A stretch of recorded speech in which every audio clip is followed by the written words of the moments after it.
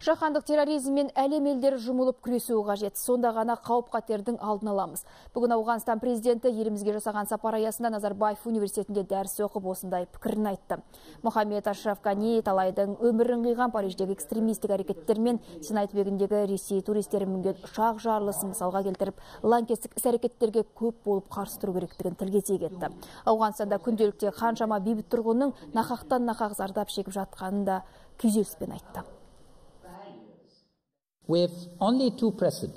Ауғанстанда күнделікті қантөгіс мен күніне зардап шеккендердің саны қанша екендігін біліп отырамын.